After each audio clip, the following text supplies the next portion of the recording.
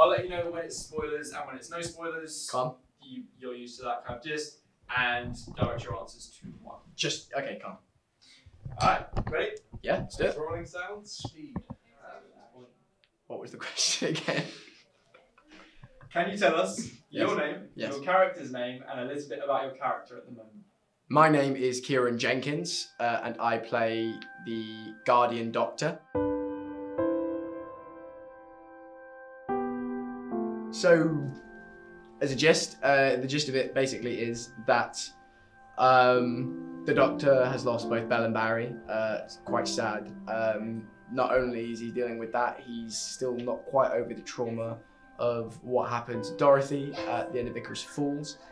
Um, and he finds himself sort of picking up the pieces of this shattered family and these shattered mysteries and clues that he set up for himself in the beginning of Guardian. Um, this is like a person that was very used to manipulating situations and creating his own games for him to solve. Do you know what I mean?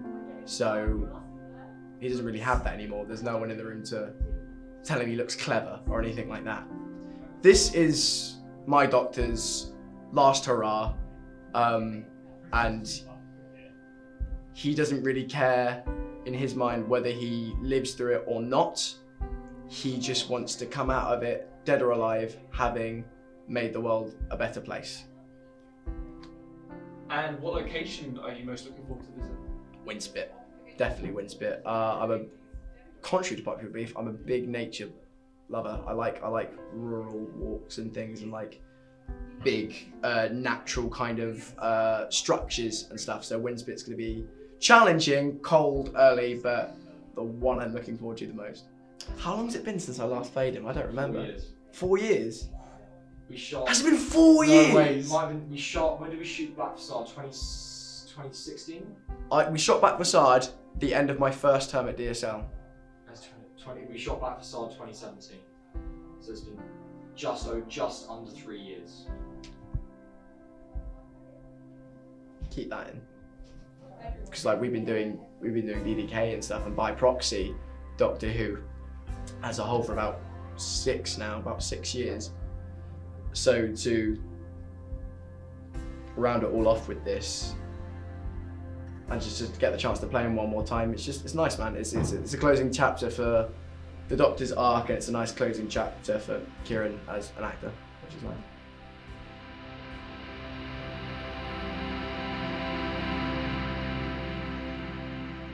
It is now 2.08. It's the morning of Winspit, first day of shooting for the Siege of Time. And we've got like a three hour drive, a two hour drive ahead of us to Dorset. And I'm going to go and wake up the rest of my house. So Dan's had his first AD problem. Uh, what what what's what's happened this morning? Day one. Well, I've I've had my breakfast. That went fine. No Yes. problems there. No hitches. There's a slight problem with Oh. costume. Oh, is there? Um, in this, uh, in that there's some costume that's isn't here. Oh. So that's my first problem to solve. I am very prepared in case we end up going climbing. I've got carabiners attached to carabiners, so no problems there. Nobody panic. It's all good. Now let me go figure out this other problem.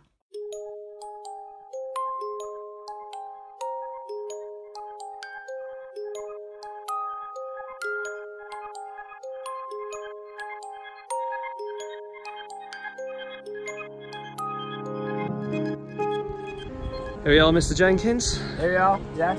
Winspit Quarry. Yeah. That's not, not that's not the quarry, the quarry's all all this over here. Uh, which is cool. Uh, I mean, I said in the interview, this is the, uh, the shoot I was looking forward to the most, and it has delivered on that. Hello. Hello, Dan. How you doing, Reese? Thought I'd show the show the people the coast. Beautiful coastline of Dorset. You going well? Yeah, it's not bad. We're getting there. We might have a lunch break soon. Awesome.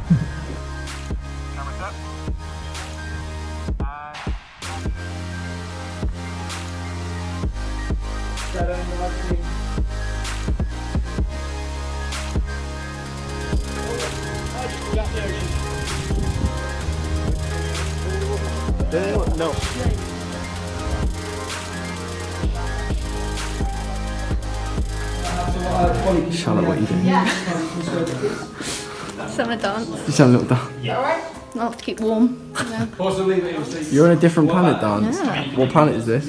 Gallifrey. Gallifrey dance. Get the Gallifrey dance. That's Everyone's going to be doing this by the end. To get it trending. Hello, Callum. It's the end of a day. Oh, How's your day been?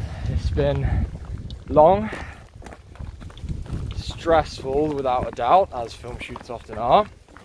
Um, however, I think it's fair to say that we've probably captured some of the best looking stuff uh, that we ever have. Mr. Perry, the man holding the camera, um, did some amazing drone operating and hopefully has got some shots. I forget, hopefully, certainly has got some shots that will set us apart from lots of other fan filmmakers and student films. And that's all I've got to say about that before I pass out. Callum, bit behind the scenes, behind the scenes. So I'm Charlotte Tublick and I'm playing Nancy Wilson. And Nancy is a woman from the 1930s. Um, she worked in a record shop and time and space and the doctor just sort of stumble on her door and she gets carried away in a bit of the whole journey and discovers space and new worlds and things she never thought existed. So it's the joining of both the normal universe and a parallel dark universe and the chaos that sort of causes and how the doctor and his friends, companions all have to work together to try and stop them from colliding and taking over each other. And there's all sorts of monsters and baddies that show up on the way. I love the costume. I, I love the 1930s vibes. Um, so I'm quite enjoying that. Not sure how practical it's going to be to run in a skirt, but I think Nancy can manage it. She's quite used to that. So yeah. Doctor Who, episode two. Inara gets a coffee. Take one. um, uh, director Daniel J. Clark. Yeah. Uh, so Dan, we're uh, now approaching. Ah, that's a. Oh, my no! Uh, what's That what's this first scene? What's what's happening? Well, basically, we've got some Monzanian prisoners who Some are going to be Monzanian on their knees. The opening scene. Um, so they're going to be pushed to their knees and basically killed. Um, Basically, in a brutal, brutal way by Time Lords because the Time Lords are evil, evil, evil people. So we You're shoot. one we, we, I am. I am evil. So we're shooting just a really happy execution scene. Yeah, yeah, pretty much.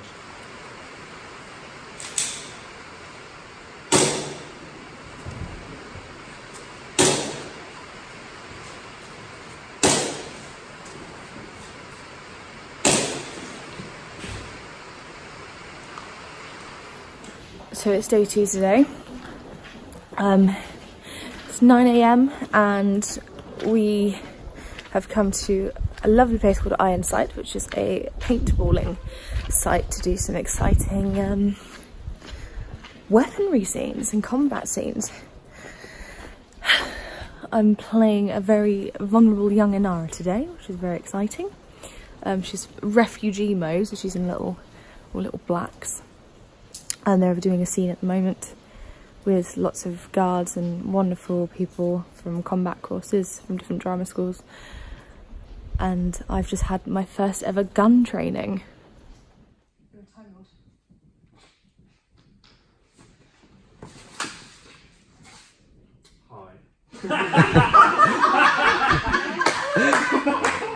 That's what I want. Engineer! James, how do you feel being a Cyberman? Normal. Looking good, mate. Okay, so we're here with uh, AD, Dan Perry, crew, Hi. and the Cyberman. It's deactivated. We just found it like this, so you can see we're all safe. Do you want to try it? Here we go. Oh shit. Oh Christ, I think it's going to come after me. Holy shit. Fucking hell. Camera set. Uh, camera's reading. And action. That answers one of my more pressing questions. This is home. I'm sorry, but you were taken from your home a long time ago. Pain, pain. Sorry.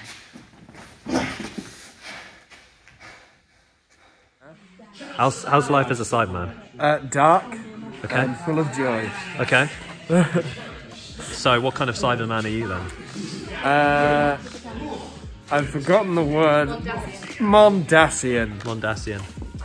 God, you look creepy. Where's that creepy smile again? Oh, stop. Please, stop. stop. No, I can't even. Guardian, Siege of Time C38 Camera set. Action.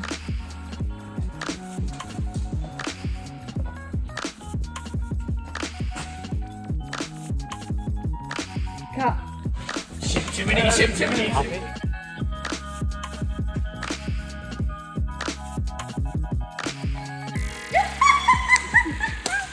Cut. I am Holly Ann Catherine White. I play Inara Valani, and my character is an awesome space vampire. Two different universes, three different doctors, and two me's, two different me's, with an additional me that is me when I'm a child. Which is cute and really, really frustrating to film. I still don't know how we're gonna do that. this one is a lot more combat orientated. There's a lot of fighting in this one, which is very exciting. I have three costumes. This one's my favourite one. Um, I like it because it's like, it's like super ready for combat and stuff, and it's like it's really comfortable and it looks like she's ready to go and kill someone. Um, and I love I love the boots, the little red flowers and boots are so cool. Um, and also, I just thought like because Inara's kind of on the side of the doctors this time, We've got like the nice sort of blue representing her relationship with the Doctor and the TARDIS, which I thought was quite cool. Also gone for like a little black vibe on um, on the top because she's actually quite sad in, in this one. She's quite lonely. Um, and then the other two are really cool. One's quite basic and sort of it's when she's a lot younger, so it's sort of reflecting her um, innocence I think is the word to use. And then the other one is very, very intense. And I've just had photos taken for that one. It's really dark and red, vibrant. Um, but yeah, this this one's my favourite. I love this one. But I'm yeah, I'm really excited actually. I'm excited to bring it back. It's it's gonna be really fun.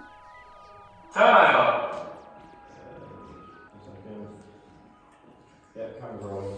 Sound.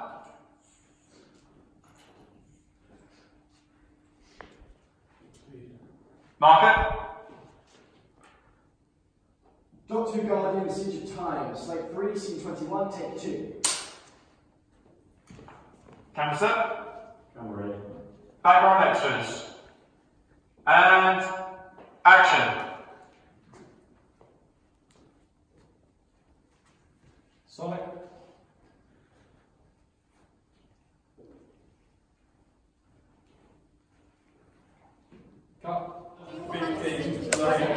Yeah. Valiant, how are you finding all of this? I am gonna rule time, just all of it, the whole kit and caboodle. How It- much some time? people, people, some people think it's a lot. Some people think ruling time's a lot, but I can manage it with a stalwart team. Vote for me, president of time, forever. I'll kill you. There you go. Is that good campaign? Good campaign? I think that's good. That was good. So that went pretty well. What's going on over here? I don't know what it's called. I'm strengthening my thighs. Thigh strengthening warm ups. Strengthening for the thighs. And for everyone's knowledge, Daniel Perry can't do this. Up. Daniel Berry can do it! And um, action.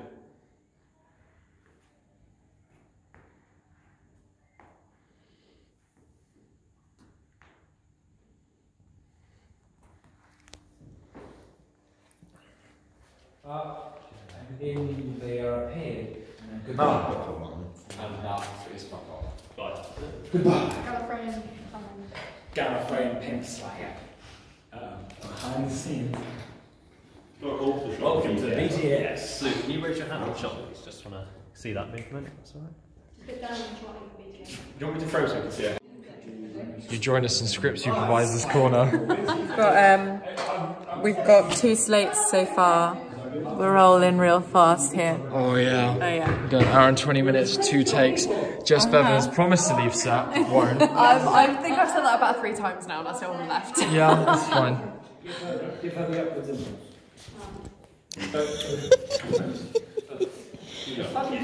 Yeah, if, if nothing else, then it should help disappointed remind. And action.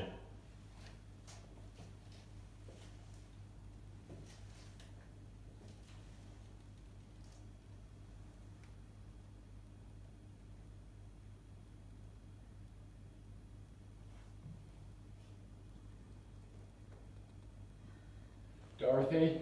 Run! Hi actors. like, oh, but Brutus. How, how are we feeling? How's, how's it going? It's, it's currently four four twenty five a.m.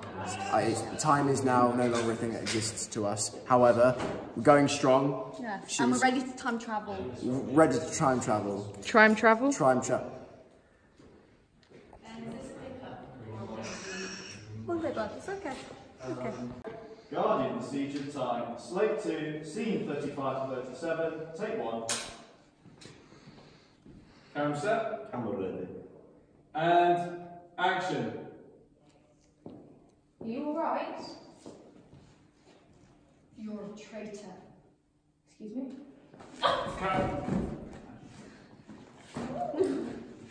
Inara Villani, third born daughter of the High Monsanian priestess, Scourge of Casterbarus. I was that close. What is it? What are you, Holly Ann? I'm a space vampire.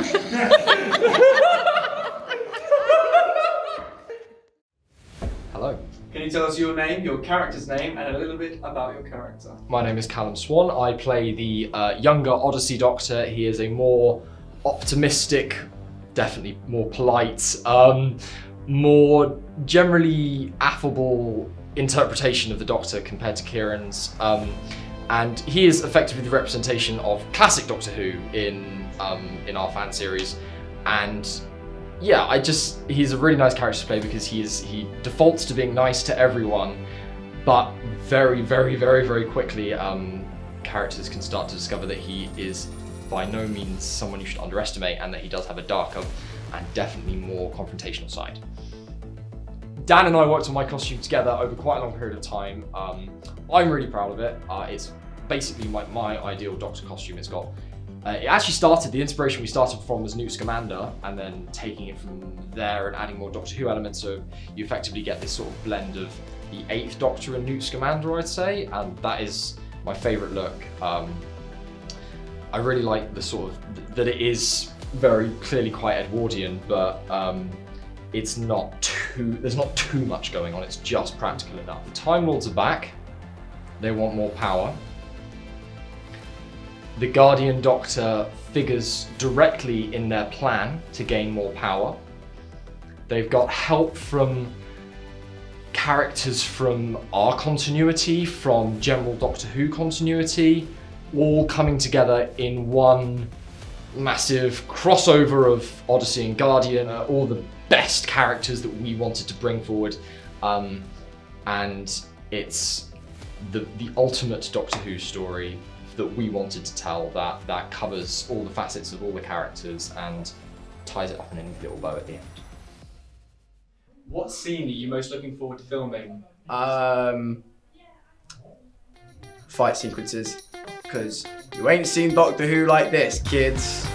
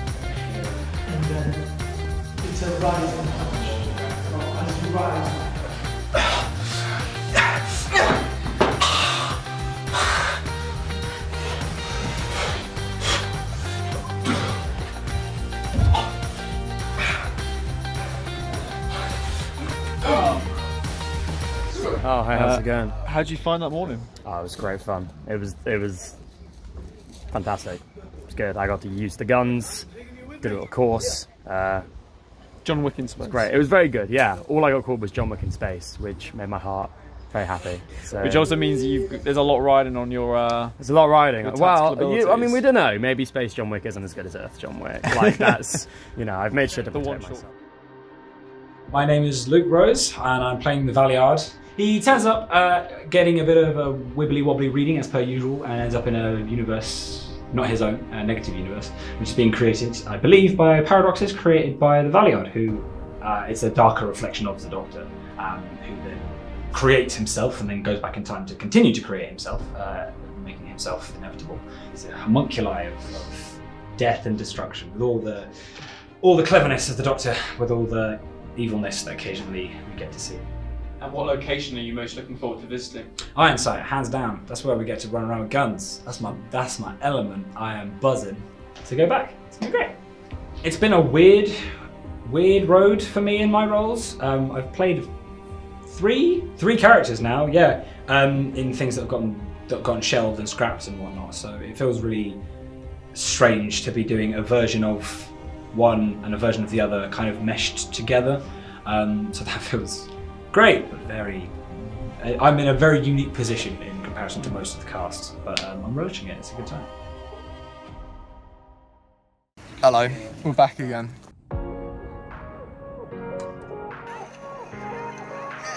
And then he's gonna have his legs straight.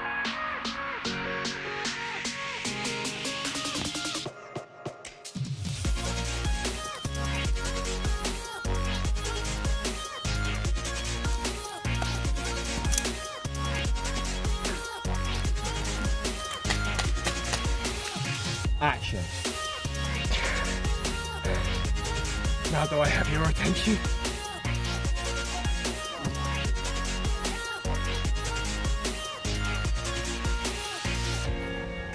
The sandwich is fantastic. Sandwich is fantastic. What sandwich have you got, Reese? Reese, what sandwich is it? Oh, I've got um, egg and bacon.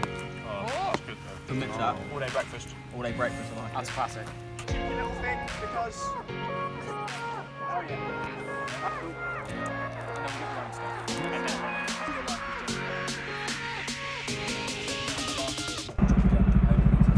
Bloody helicopter.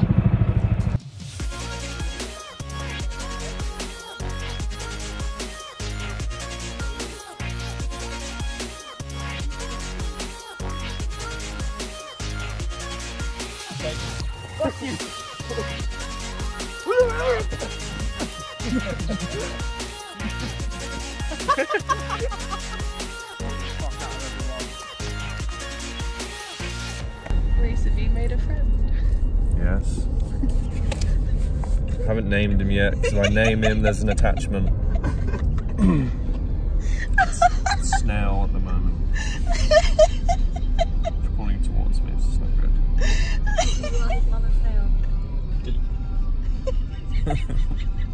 no. Okay. My name's Reese. Um, I'm playing the Master. Um, the Master's an interesting character because, like, ultimately he's a megaloma- he's a megalomaniac. He's, he's hungry for power, but um, I think when approaching this, I need to kind of work out what that power is, um, and it and it seems to me that his power is to be superior. He wants to be superior to everyone, including his his his, his friend that he had years ago, the Doctor.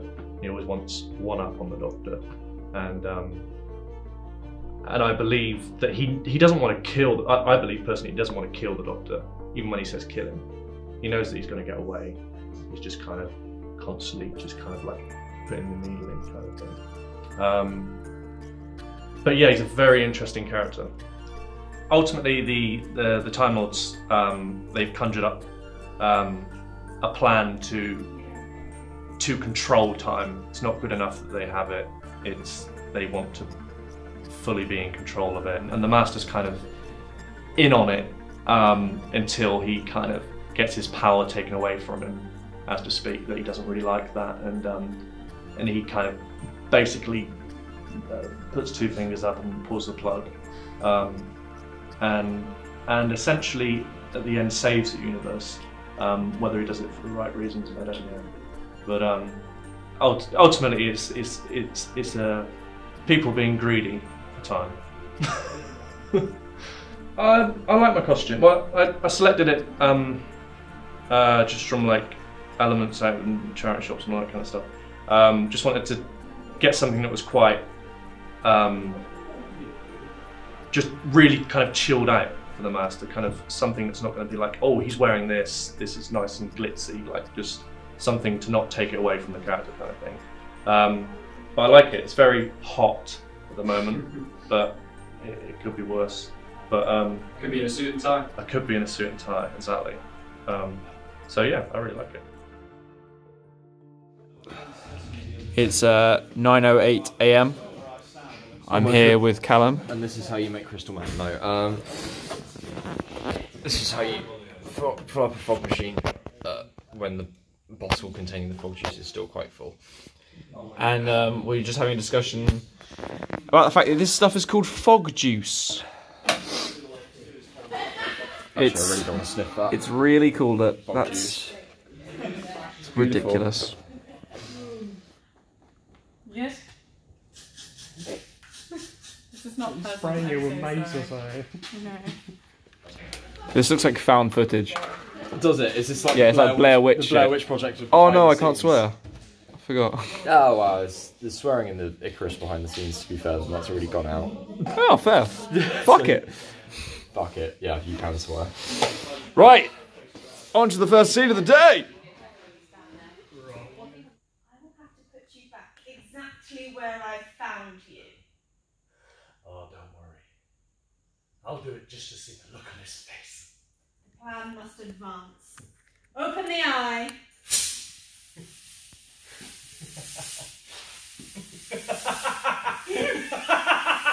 Your left, please, to shuffle. Shuffle, shuffle, shuffle. Right, we'll come more hands. Beautiful. First position, please. Um, I'm actually chained up, by the way. This isn't fake. Right, everyone. Okay, going for a take. Turning. Sounds. Mark it. Guardian the Last Doctor, Slate 5, Scene 31 to 33, take 1. And action.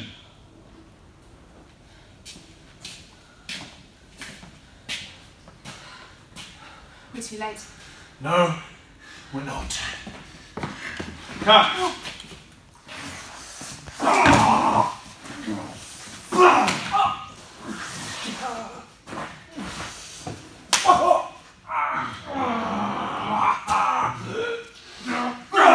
Oh, wait! Cut. About your character.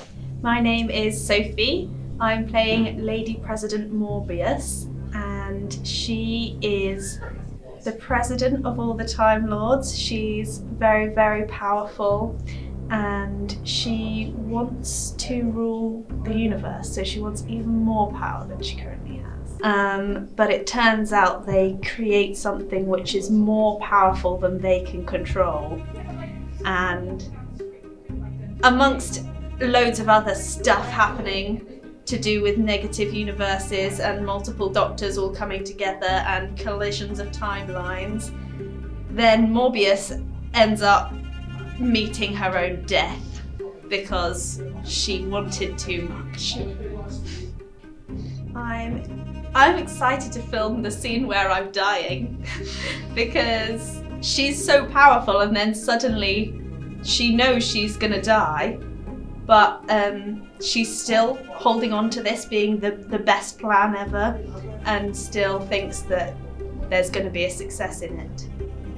I hope that I can carry the story on in the way that was intended. Um, yeah, just excited basically.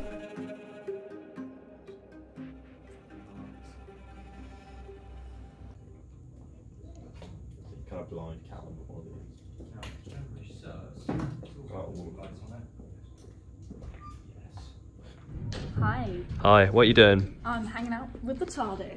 which I'm so excited about. Oh, lovely. She really enjoys flicking the switches on it.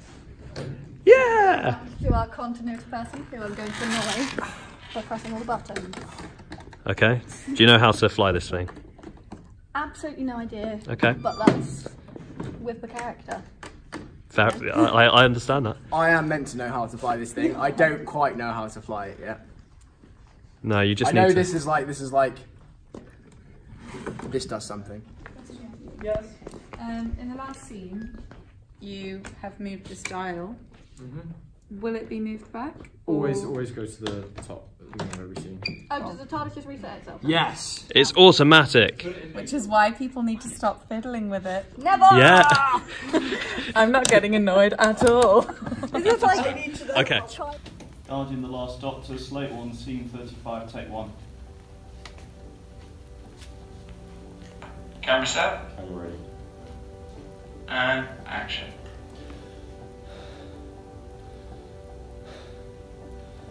I'm still me. Oh, that's something. Now you've done it. I would point out it's not actually his fault. No. No, I think this was. Welcome to the back catalogue. The used up lives. We were always here, just underneath your subconscious. Glad you could join us. But that means I'm regenerating. Oh, I certainly hope so. Unless.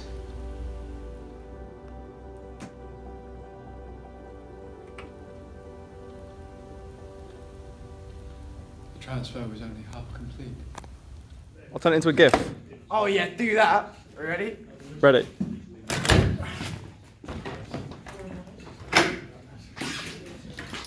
Uh, I'm Alex Zer, uh, and I'm playing a character called the Castellan. Uh, and the Castellan uh, is a uh, Time Lord.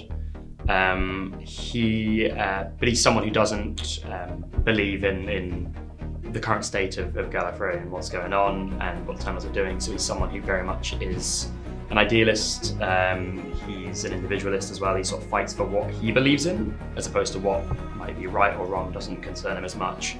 Um, yeah, a bit of a rogue, bit of a rebel. He sort of tends to shoot first, ask questions later, kind of vibe. Um, yeah, all around cool guy. There's a nice big combat scene that I'm in. A lot of shooting, a lot of action hero, John Wick stuff. Um, so I'd say that. Yeah. Oh, I love it. Honestly, I'm in love with this costume. This is the first day I've tried it on, and it is the best. I feel like I just feel very noir. Do you know what I mean? The big trench coat, the the tie, you know, all black. It's it's sweet. Yeah. I had a gun for a little bit as well to do some like, promotional stuff, and it was just it was a great time. Yeah. How do you feel about taking over this character from your predecessor? Um, I'm excited for it. It's really cool. I think just uh, like challenging wise as an actor, it's cool that I've got to come into a role and be able to watch slash listen to what he's already done with it, you know, and kind of see how I can take that. And because the character's now regenerated, that you can, I don't have to stick super super specifically to what he's done, but the core concepts and concepts, the core, I don't know, elements of the character are still there, but I can kind of play around with it. So it's nice. I've got a very strong foundation and influence there, and I can kind of do a bit of my own thing with it as well.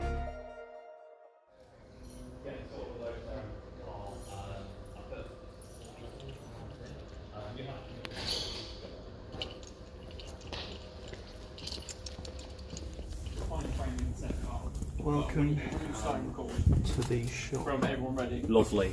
We're going to shoot very quickly, so I need you guys in costume. Who made you in So much charge, for the mate? so much for the BTS.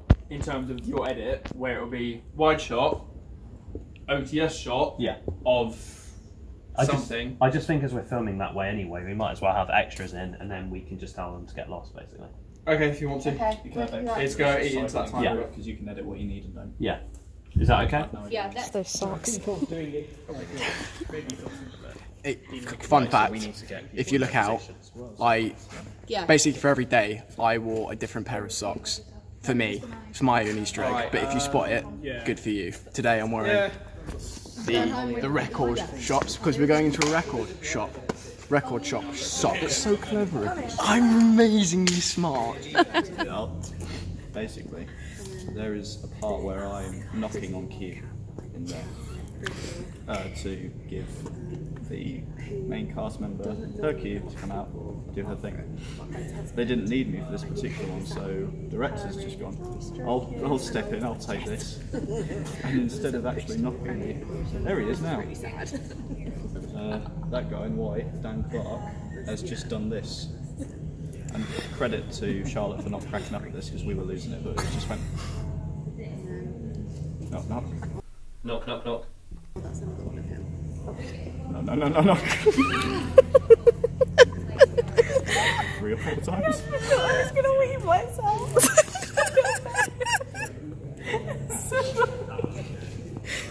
What did you do? Great. What did you do at some point in your career? You appear in a really bad film and get a massive award. I, I don't know. Give me a Razzie. That's- Go that's on. an award, In fact, people that's of something. Razzie, people of Razzie, watch Gravestone, rate it, then give me a Razzie. What you'd have to submit Gravestone to the Razzies. Fam, I think it prime material for a Razzie. Prime. Yeah. It's bad. Let's not kid ourselves anymore. We were 16. Like, it was shite. Of course it was shite. Yeah.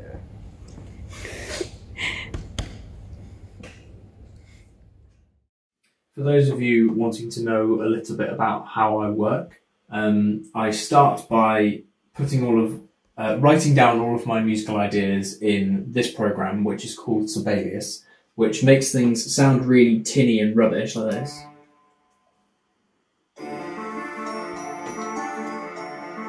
Um, but it's a really useful uh, way to store all the information. Um, and once I've got it all written down, um, I then convert it to a MIDI file and open it up in this uh, software called Logic, um, which allows me to make it sound like this.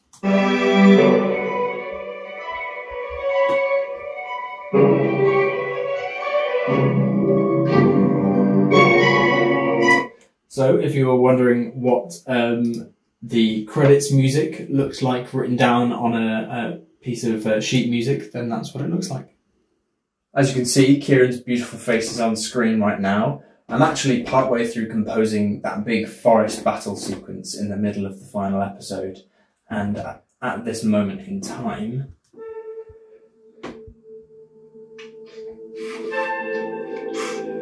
the Doctor has just survived his face-off with the Valeyard.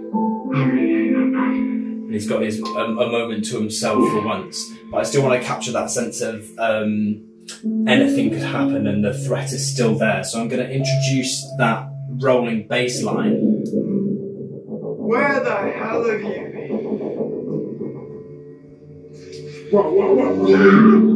been? Hello, uh, my name's Callum Swan. You've already seen me once in this documentary, uh, talking about sort of acting and things like that. Hi, my name's Dan Clark. I am one of the writers and directors of Doctor Who Guardian 2020. And well, first of all, we should probably address the elephant in the room. Uh, the last time you saw me in this documentary, uh, I was being filmed well over a year ago now, um, in August 2019. It's now December 2020. We've gone through post production and a global pandemic uh, since then. But we got the story finished, we got it edited, we got it done. Um, and yeah, just want to talk a little bit about the writing process uh, and how we decided that we were going to sort of finish it in the way we did. So we finally decided it was now about time to bring Doctor Who Guardian back. Obviously, last time we saw it, we ended with the Black Facade, um, which was never intended to be uh, where the series ended. The real life reason that we didn't continue with the series at the time was because uh, Kieran, who plays the Doctor, the Guardian Doctor, he went away to uh, Drama Studio London. So what we did was we put it on hold, and it was that sort of time that Callum contacted myself and Kieran about uh, Doctor Who Odyssey. That went into production and was finished, and was the whole story was concluded with Icarus Falls. Uh, at which point we knew we were pretty much done with Doctor Who, and we were ready to sort of move on and become filmmakers in our own right. But we had to finish the story we started in Guardian, otherwise, you know, what was the point? So we came back to it. We had the remaining episodes of the series planned, but we felt we could do something better at that point. And then we had the idea of writing one big finale, one episode that would bring together all these concepts and ideas that have been kicking around in not only Guardian but now Odyssey as well. There was many iterations of um, the story. Uh, Callum and I worked quite closely together over a number of months during sort of the post-production period on Icarus. The most consistent idea was that we wanted this to be a Valeyard origin story, um, using uh, obviously the character that we saw um, in Guardian in Broken Memories and uh, a few times uh, during the series, um, who was played by Luke Rose, and we wanted him to be Valeyard. The scripts that we were writing to act as the sort of concluding story for our Doctor Who, allowing us to move on completely, was originally going to be a sort of one hour uh, special finale that was sort of both Odyssey and Guardian. But eventually we decided that, that probably wasn't the right way to go around it. So the end decision was made that we would raise the existing episode count of Doctor Who Guardian from four, finishing with the Black Facade, up to six, finishing with the Last Doctor. The Siege of Time was then created as a sort of bridge to drag the story from original Guardian into Guardian 2020 and up the stakes, ready for the big finale at the end. It was at this point also that the characters of Inara and Morbius were brought in uh, to flesh out the story a bit more, uh, and it just meant that it could act as a complete continuation of not only the original series of Guardian with Inara, but also the story that had been brewing on Gallifrey and was uh, addressed in Icarus. Bringing in the Time Lords was another important element for me. We show them a lot more ruthless. Uh, we show what happened if there was a really, really evil president of Gallifrey that would use all the resources of the Time Lords to wreak havoc on the universe, basically. Dan then made the brilliant suggestion of bringing in Nancy, a fresh companion character for the duration of this story, that would mean that if it had to, the Siege of Time would act as a jumping on point for any potential new viewers. Nancy, for me, I really like the character because there's a lot of parallels between herself and Dorothy from Odyssey, and because obviously from where we are, uh, the Guardian Doctor got his memories back, and um, he obviously knew about Dorothy. So I wanted there to be sort of a hint of a relationship that they would have that would be similar to what he had with Dorothy. Um, and spoilers, if you haven't seen uh, the Last Doctor, go and watch it. Um, obviously, with Nancy dying, it parallels uh, what happened to Dorothy and Icarus as well.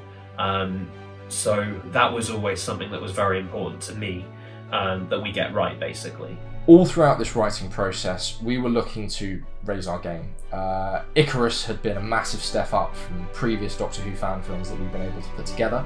Uh, and this had to be as good, if not better than that, but with arguably a more ambitious story, more fight sequences, more complicated use of monsters, and a bigger cast. It was also important to me that we did honour the people that had watched Guardian. Um, so I didn't want it to be right. We're doing the Siege of Time and the Last Doctor, and you're never going to find out what happened to Barry. You're never going to find out what happened to Bell.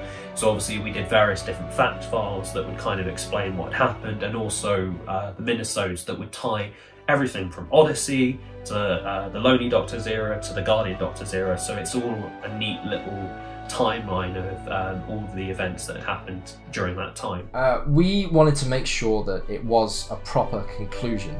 And there were a few ways of doing this, all of which revolved around basically what we did with Kieran's Doctor. We did briefly debate killing the Doctor outrightly, having this be a supposed sort of end to the Doctor's story, but that kind of felt dishonest, maybe a little bit of a betrayal of the show. The other option that we had um, was that the Doctor could uh, waltz off back to the TARDIS, same old life.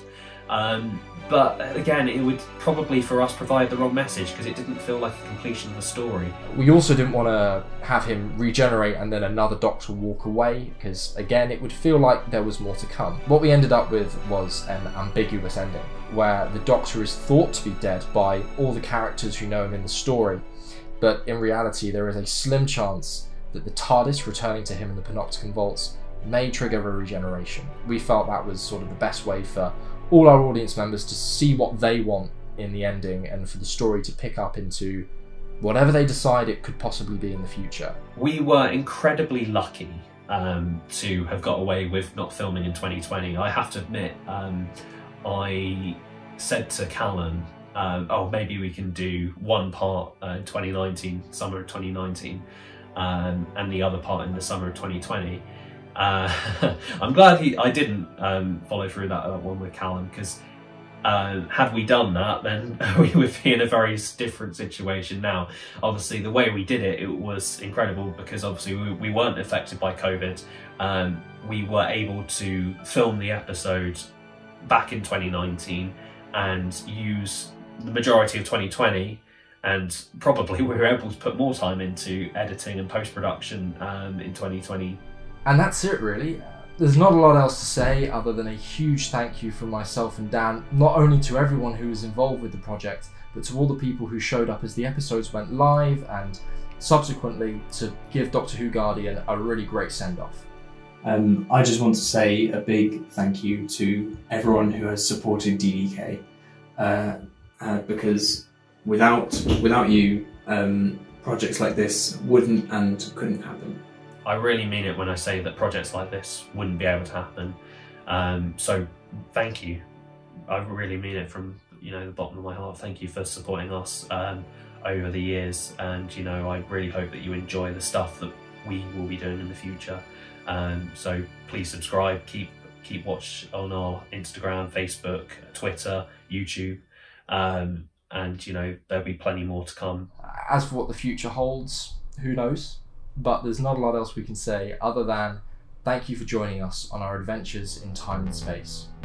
We couldn't have done it without you.